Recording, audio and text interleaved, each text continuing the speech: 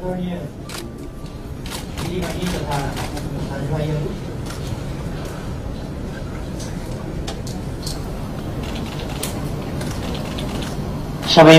हार्दिक अभिवादन भन्न चाहन्छु। नमस्कार। सर्वोच्च अदालत संवैधानिक इजलासबाट हिजो असार अठाइस गते जारी फैसलाले उत्पन्न गरेको विशेष परिस्थितिका बीच म सम्बोधनका लागि यहाँ उपस्थित भएको छु। प्रतिनिधि सभा विघटन सम्बन्धी मुद्दामा आधारित रहेर सर्वोच्च अदालतबाट जे जस्ता फैसलाहरू गरिएका छन् तिनका असर मुलुकको लोकतान्त्रिक प्रणाली दलीय व्यवस्था र राजनीतिमा लामो समयसम्म रहिरहनेछ। लोकतन्त्रको रक्षा विकास र सुदृढीकरणमा यी फैसलाहरू सहयोगी रहे कि असहयोगी। यिनले राजनीतिक स्थायित्वलाई बल पुर्याए कि क्षति। यसबाट दलीय व्यवस्था बलियो भयो कि कमज़ोर? समग्रमा राजनीतिलाई फैसलाले अग्रगामी दिशा दिए कि पछाडि फर्काए। यसको समीक्षा भविष्यले गर्ने नै छ। समयले आफ्नो कसीमा घोटेर यिनको औचित्यबारे अग्नि परीक्षा लिँदै जानेछ। तर संविधानको सर्वोच्चता र विधिको शासनमा विश्वास गर्ने पार्टीका हैसियतले फैसलाको पालना गर्ने विषयमा पार्टी स्पष्ट रहेको कुरा म जानकारी गराउन चाहन्छु।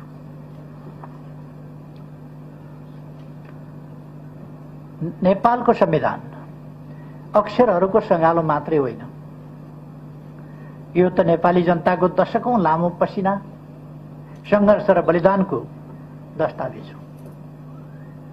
नेपाली जनताको विश्वास भविष्य र सपना समेटिएको दस्तावेज हो। संविधानको निर्माण एवं रक्षामा निर्णायक तथा नेतृत्वदायी भूमिका खेलेको पार्टीका हैसियतले हाम्रो चासो र चिन्ता संविधानको रक्षामा हो। नेपाली जनताको बलिदानी सङ्घर्षबाट प्राप्त लोकतन्त्रको सुदृढीकरणमा हो। हामीले अवलम्बन गरेको बहुलवादमा आधारित बहुदलीय प्रतिस्पर्धात्मक सङ्घीय लोकतान्त्रिक गणतन्त्रात्मक संसदीय शासन प्रणालीको भविष्यप्रति हो। फैसलाका कतिपय प्रावधान र यसमा प्रयुक्त भाषा शैलीले लोकतन्त्रप्रति विश्वास राख्ने सबैलाई अत्यन्तै चिन्तित तुल्याएको छ। मुलुकको सार्वभौम सत्ता र राजकीय सत्ता जनतामा निहित रहनु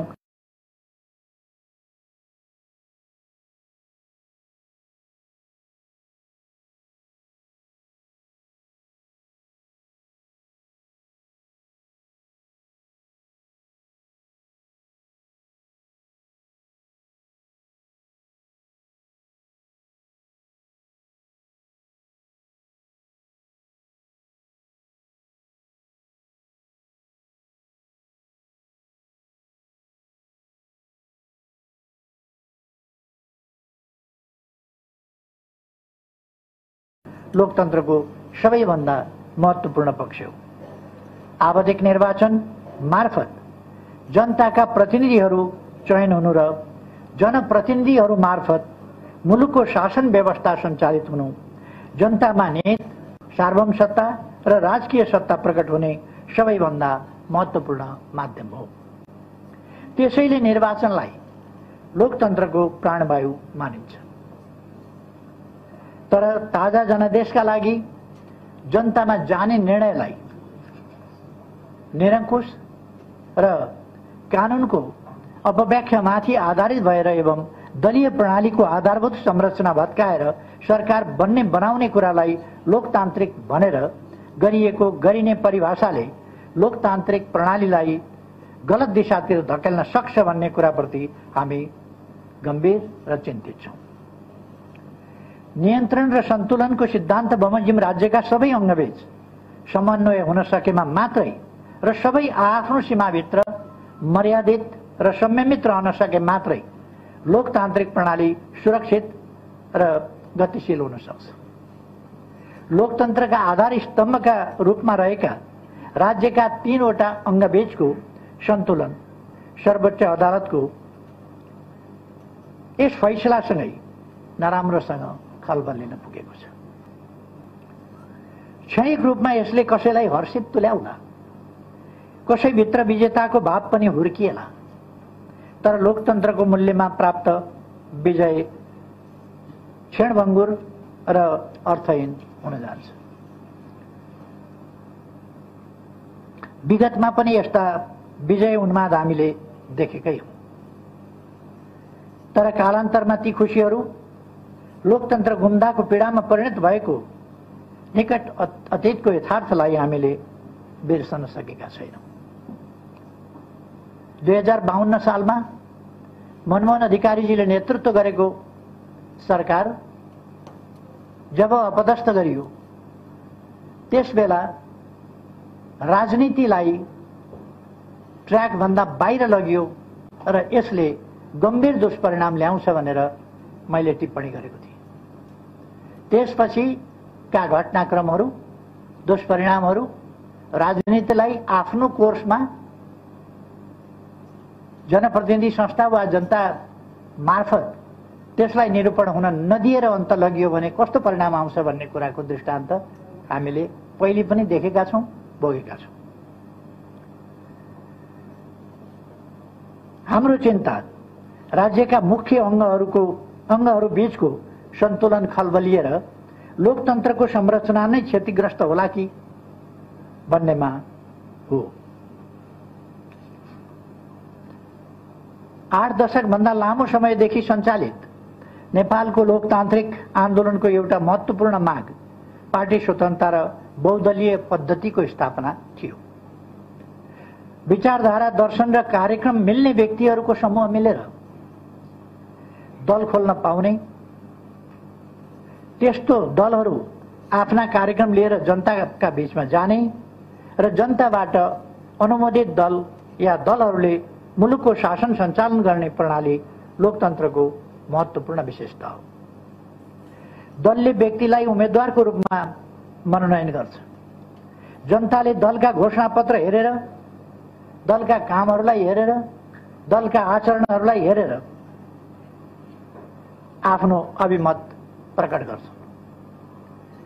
तर यसरी पार्टीको तर्फबाट उम्मेद्वार बनेको र दलको चुनाव चिन्ह एवं घोषणापत्रका आधारमा जनताले विश्वास गरेर निर्वाचित गरेका प्रतिनिधिले सरकार बनाउने बेलामा चाहिँ जो कसैलाई समर्थन गर्न सक्छन् उनीहरूले जुनसुकै ठाउँमा भोट हाल्न सक्छन् त्यस्तो गर्दा उनीहरूमाथि कुनै हुइप लाग्दैन लगाउनु हुँदैन लगाउन पाइँदैन जस्ता कुरा र सांसदहरू दलका प्रतिनिधि मात्रै होइनन् भन्ने व्याख्याले हाम्रो दशकौँ लामो सङ्घर्ष दलीय आस्थाका लागि चुकाएको मूल्य र दलीय प्रणालीको आधारभूत प्रस्थापनालाई नै चुनौती दिने काम गरेको छ। एउटै दलका सदस्यहरू सत्ता र प्रतिपक्ष बन्ने यस्तो परिकल्पना कुनै पनि लोकतान्त्रिक प्रणालीले गर्दै गर्दै निश्चित व्यक्तिका निश्चित आकाङ्क्षा परिपूर्तिका लागि गरिएको संविधानको यस्तो अपव्याख्याले वस्तुत संविधानको संशोधन गर्ने काम गरेको छ। पछि फर्किने गरी। हाम्रो लोकतान्त्रिक प्रणालीले भविष्यमा लामो समयसम्म यसले सिर्जना गर्ने राजनीतिक विकृतिहरूको मूल्य चुकाउनु पर्नेछ। राजनीति जब मूल्यहीन ढंग ढङ्गले चल्छ, विगतमा पनि। छयालिस सालको आंदोलन पछि पनि हामीले राजनीतिक विकृतिका विभिन्न स्वरूपहरू देखेका छौँ। जुन कुराको पुनरावृत्ति नहोस् भन्ने हामी चाहन्छौँ।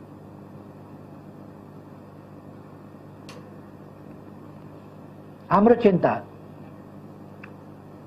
आसन्न राजनीतिक विकृति र यसले सिर्जना गर्ने जोखिमप्रति हो।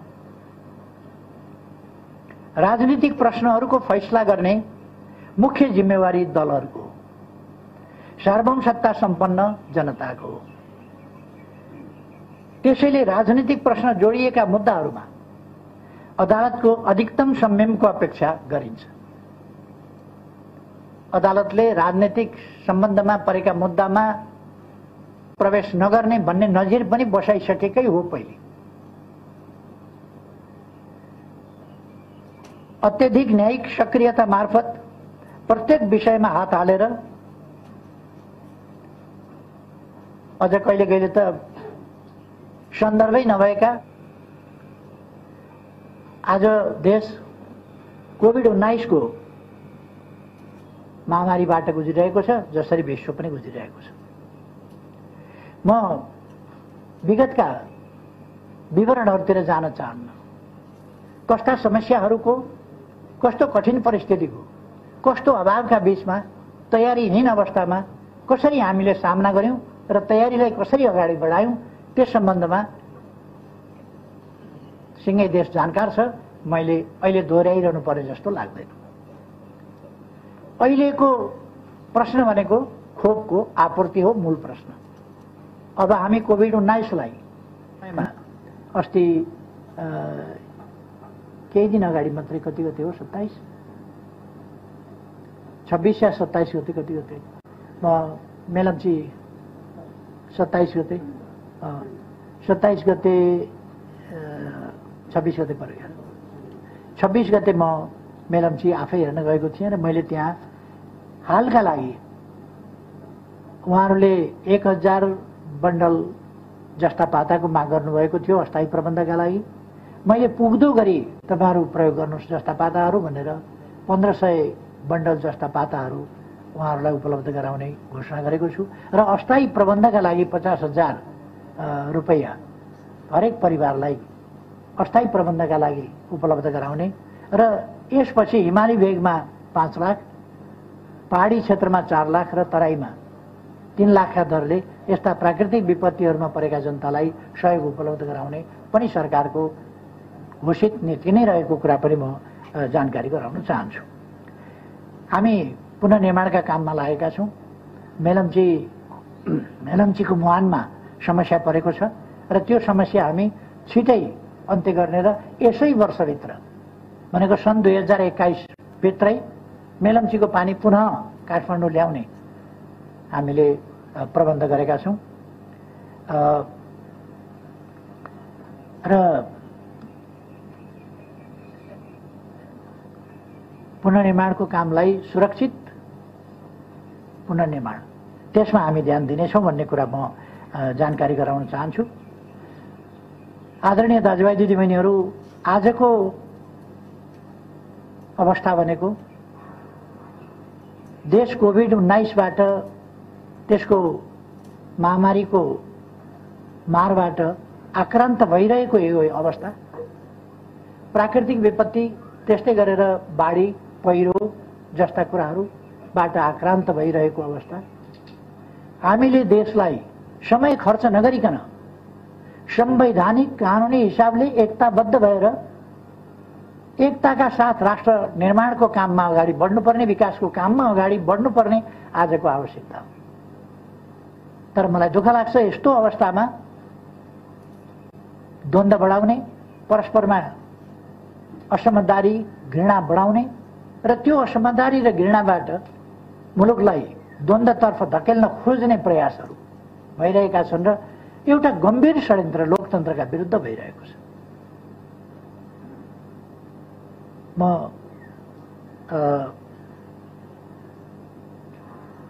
आजको आवश्यकतातिर राष्ट्रिय एकताको आवश्यकतातिर विकास निर्माणका काममा एकताको आवश्यकतातिर सबैको ध्यान आकर्षण गर्न चाहन्छु। हामी कुनै उन्मादमा जान आवश्यक छैन निराश हुन पनि आवश्यक छैन। यद्यपि हिजोको फैसला कतिले ऐतिहासिक भने। ऐतिहासिक त हुने नै भयो पछिसम्म कालान्तरसम्म सम्झिनेछ यसका असरहरू पर्नेछन् यसको समीक्षा देशले गर्नेछ। यसका परिणाम र परिणतिहरूले असरहरू अभिव्यक्त गर्नेछन्। त्यसकारण यसलाई ऐतिहासिक भन्दा पनि केही फरक नपर्ला तर कस्तो ऐतिहासिक त्यो पछि इतिहासले बताउला। हाम्रो आजको आवश्यकता चाहिँ वास्तवमा एकताबद्ध भएर जानुपर्ने थियो। यति बेला राष्ट्रिय सार्वभौम सत्तालाई स्वाधीनतालाई वास्तविक अर्थमा सबल बनाउँदै जानुपर्ने त्यो आवश्यकता थियो। तर त्यस्तो हुन सकेन। आजको राजनीति विपरीत दिशामा लान खोजिँदैछ। देशमा निर्वाचन बाँकी अवधि संसद चलोस् मेरो शुभकामना छ। बाँकी अवधि संसद चलोस्। समयमा निर्वाचन होस् तर मलाई शङ्का छ। जे जस्ता घटनाहरू घट्दैछन् जस्तो घटनाक्रम विकास हुँदैछ यसले संसद पनि सही सलामत अगाडि जाला। अब बन्ने सरकार सही सलामत ढङ्गले अगाडि बढ्ला शङ्कै छ। र यसले विगतमा यसमा अग्रणी भूमिका खेल्ने पात्रहरू परिचित पात्रहरू छन्। मैले धेरै भनिरहनु पर्दैन। परिचित पात्रहरू छन्। उनीहरूको इतिहास उनीहरूको भूमिका यो सबै कुरा पनि देशलाई थाहा छ जनतालाई थाहा छ मैले केही भनिरहनु पर्ला जस्तो लाग्दैन। यसपल्टको फैसलाले मेरो बारेमा पनि निकै धेरै प्रश्नहरू उठाएको छ। मैले झन्डै छ दशक लोकतान्त्रिक आन्दोलनमा बिताएको छु। मैले अघि पनि भने, लोकतन्त्र मेरा लागि जीविकाको विषय होइन। लोकतन्त्र मेरा लागि जीवनको विषय हो। मैले आफ्नो सम्पूर्ण जीवन, एक अवधि, एक चुनाव, एक फैसला, एउटा जिम्मेवारी, त्यसको आधारमा होइन, आस्थाको आधारमा। मैले निश्चित दृष्टिकोण गन्तव्यको आधारमा। देशलाई कहाँ पुर्याउने हो? कस्तो देश निर्माण गर्ने हो? आर्थिक रूपले राजनीतिक रूपले देश कस्तो हुनुपर्छ? कसरी चल्नुपर्छ? हाम्रो लोकतन्त्र कसरी चल्नुपर्छ? त्यसको बारेमा मेरो आफ्नो दृष्टिकोण छ। सञ्चार माध्यमहरूमा अपव्याख्या गर्न खोजियो। आज सङ्कटकाल लगाउँछ। आज यस्तो गर्छ। आज सेना परिचालन गर्छ। आज उस्तो गर्छ।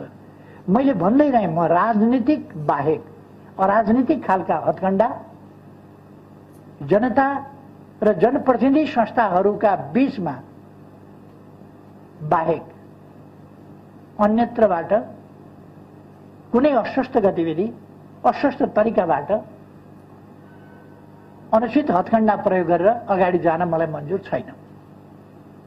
किनभने मैले लोकतन्त्रका लागि जीवन समर्पण गरेको छु र अब सत्तरी वर्ष पुगेपछि मैले झन्डै झन्डै थाहा पाएदेखि चौध वर्षको उमेरदेखि लडाइँ गरेर आएँ लोकतन्त्रका लागि।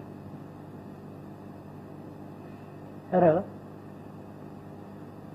आज कन्स्टिट्युसनल मोरालिटीका कुरा म माथि उठाइयो।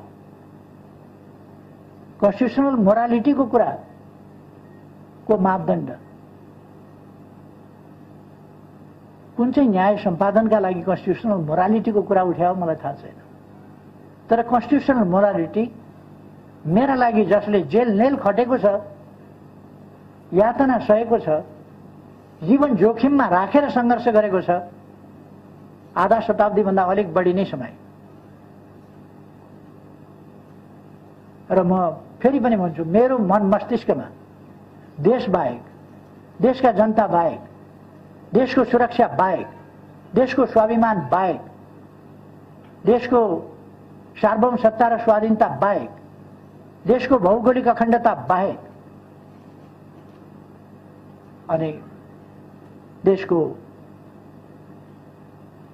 विकास देशमा सुशासन एउटा सभ्य समाजको स्थापना सामाजिक न्याय र समानता सहितको समृद्धि जसबाट अधिकार सम्पन्न जनताले अवसरसम्म पुग्न पाएर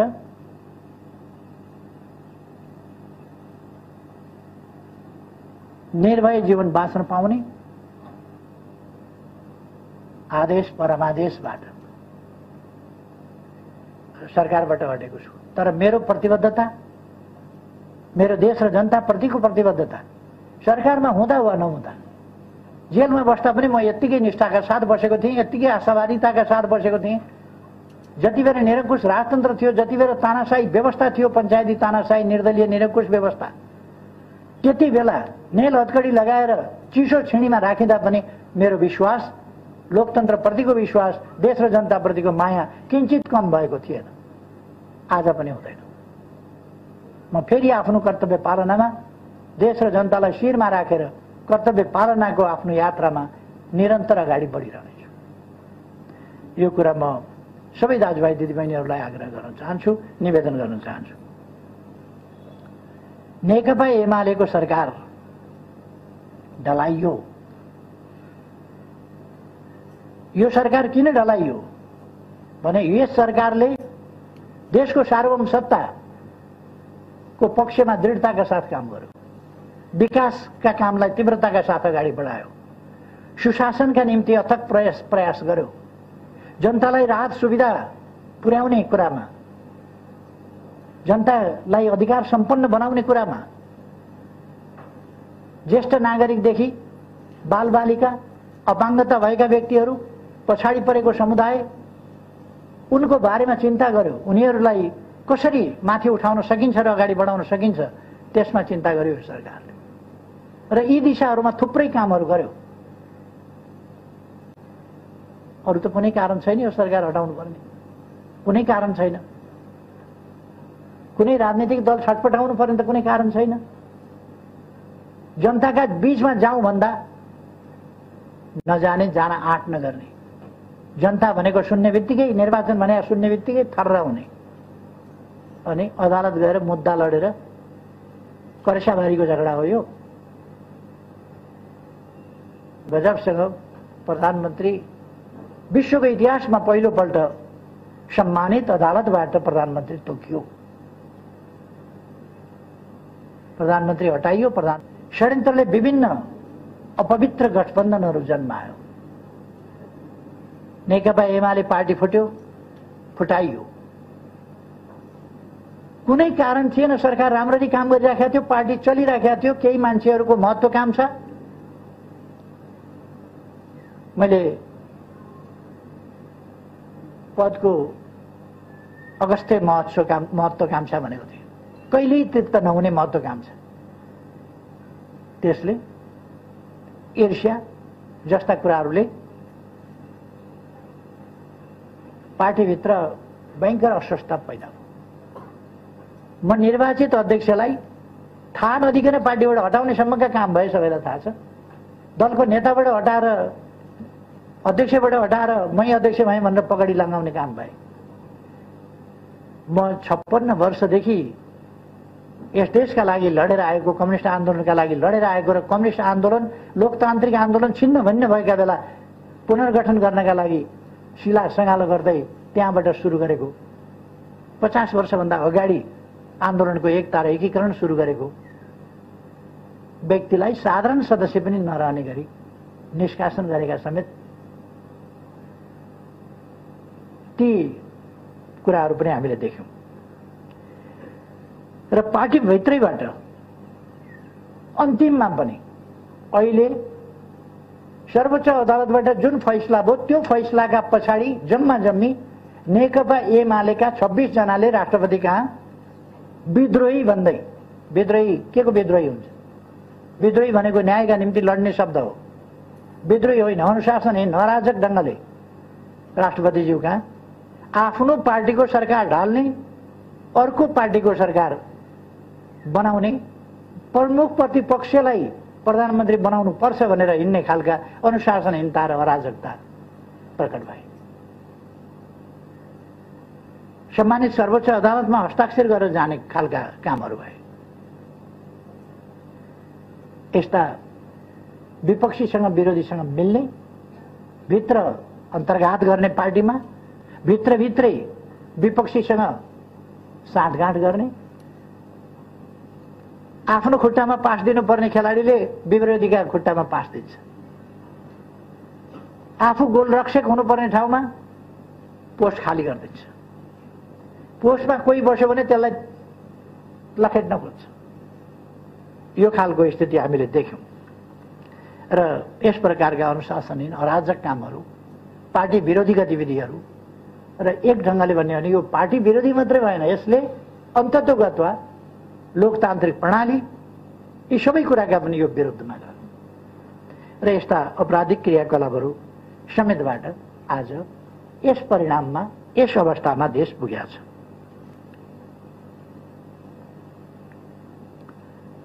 राष्ट्रमा एउटा उत्साह आएको थियो। विकास हुन सक्ने रहेछ हामी गर्न सक्ने रहेछौँ। हामीले देशलाई सुरुङ युगमा प्रवेश गरायौँ। हामीले तुइनहरू विस्थापित गऱ्यौँ। धेरै ठुलो मात्रामा बाटाहरू बनायौँ हाइवेहरू बनायौँ सडक पुलहरू बनायौँ स्कुलहरू बनायौँ कलेजहरू बनायौँ पुनर्निर्माणका विशाल कामहरू गऱ्यौँ। र यो सबै देख्दाखेरि विकास हुन सक्ने रहेछ भनेर विश्वास जनतामा पलायो। त्यो विश्वास त्यसबाट आत्तिएकै तत्त्वहरूले। यो सरकार लोकप्रिय हुन थाल्यो यसले विकास गर्यो भनेर यसका विरुद्ध विषवमन गर्ने अफवाह फैलाउने झुटा कुराहरू प्रचार प्रसार गर्ने क्रियाकलापहरू मचाइरहे। जसले गर्दाखेरि आज जनतामा अलिकति केही अन्यल भ्रम पार्ने कोसिस भएको छ कति पर्छ त्यो आफ्नो ठाउँमा होला। र म भन्न चाहन्छु हामी जनतालाई अन्यलमा पर्न भ्रममा पर्न दिँदैनौँ। कुनै पनि हिसाबले यस देशको सार्वभौम सत्ता यस देशको स्वाधीनता यस देशको भौगोलिक अखण्डता यस देशको राष्ट्रिय हित लोकतन्त्र लोकतन्त्रका मूल्य मान्यता सहितको लोकतन्त्र लोकतन्त्र सजीव अभ्यास सहितको लोकतन्त्र हामी फेरि पनि देशप्रति जिम्मेवार छौँ लोकतन्त्रप्रति जिम्मेवार छौँ। र मैले सुरुमै भने हामी विधिको शासनमा विश्वास गर्ने शक्ति पृथकीकरणको सिद्धान्तमा विश्वास गर्ने स्वतन्त्र न्यायपालिकाको सिद्धान्तमा विश्वास गर्ने। कति बेर के फैसला भयो एउटा एकाध फैसलाको कुराबाट हामी विचलित हुँदैनौँ। र यसलाई कुनै हिसाबले कहीँ तलमाथि परेको छ भने त्यसलाई सच्याउँदै अगाडि बढ्नुपर्छ आगामी दिनमा भन्ने ठान्छौँ। र अदालतको फैसला अनुचित छ हाम्रा विरुद्ध छ। संवैधानिक हिसाबको हिसाबले हेर्ने हो भने त्योमा खटिएका डाक्टर नर्स स्वास्थ्यकर्मी अरू तमाम साथीहरू सबैप्रति म हार्दिक धन्यवाद भन्न चाहन्छु।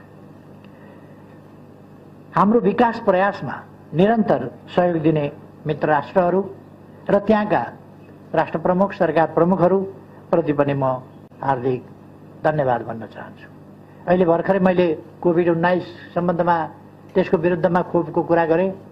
यदि मित्र राष्ट्रहरूको साथ सहयोग हुँदैनथ्यो भने उहाँका राष्ट्र प्रमुख सरकार प्रमुखहरूको साथ सहयोग हुँदैनथ्यो भने यो सफलता हामीले प्राप्त गर्न सक्दैनथ्यौँ त्यस कारण म सबैप्रति आभार व्यक्त गर्न चाहन्छु। लोकतन्त्रको रक्षा र सुदृढीकरणका लागि हामी चौबिसै घन्टा सजग भएर अब पनि खडा हुनेछौँ। थालिएका अग्रगामी कदमहरूको निरन्तरताका लागि खबरदारी गरिरहनेछौँ। मुलुकलाई अस्थिरतातिर अर्थतन्त्रलाई ओह्रालो दिशातिर जनतालाई अन्धकारतिर र संविधानलाई सङ्कटतिर धकेल्ने प्रयासका विरुद्ध हामी चट्टान बनेर उभिनेछौँ। मेरो पूर्ण विश्वास छ मुलुकले सुरु गरेको अग्रगतितिरको यात्रा कसैले पनि बिथोल्न सक्ने छैन र हामी त्यो बिथोल्न दिने पनि छैनौँ। बादलले एकछिन अँध्यारो पार्न सक्ला घामलाई छेक्न सक्ला तर सूर्यको प्रकाशलाई कसैले पनि निस्तेज पार्न सक्दैन। नेपाललाई समृद्ध र नेपाली जनतालाई सुखी बनाउने महान अभियानमा म र मेरो पार्टी सधैँभरि अग्रमोर्चामा डटिरहनेछ। एकछिन बादल लागेको छ। फेरि सूर्य बादल हटाएर उदाउनेछ। सबैमा धेरै धेरै धन्यवाद